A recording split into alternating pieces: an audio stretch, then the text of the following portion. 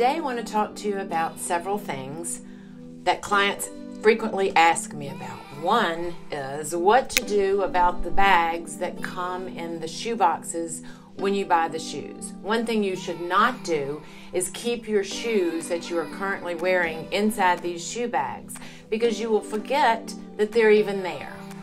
The two reasons that I love the shoe bags are one, when I travel, I put my shoes in shoe bags.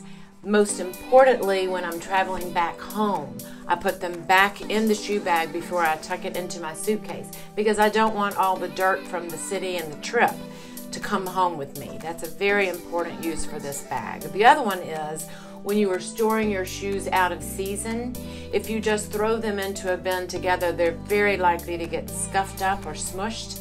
So you can put them in the shoe bags that they came in originally and then tuck them in neatly to your bin to store them properly.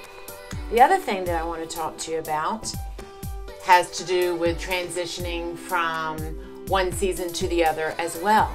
Invariably, when I'm working with clients, we're going through their clothes and it's a big surprise to find out that there are holes in a sweater or a t-shirt. Somehow moths have invaded. So I went to a talk recently at the Metropolitan Costume Institute, and they explained to us, first of all, that these are not the moths that we see outside. These are tiny little bugs that you really can't see with the naked eye.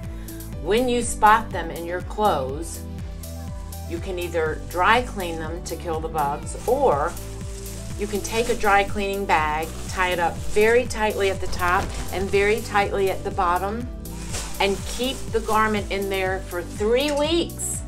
After three weeks, that should be enough time for the little bugs to have been suffocated. Then you take it out of the plastic bag. Never store your clothes long term in plastic bags. The fabric can't breathe, it's very bad for them.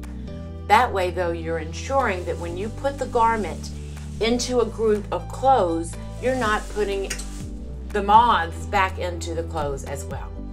So I hope that these tips have helped you, and I look forward to our next time together. Don't forget to follow and subscribe to our YouTube channel, The Style That Binds Us, down below.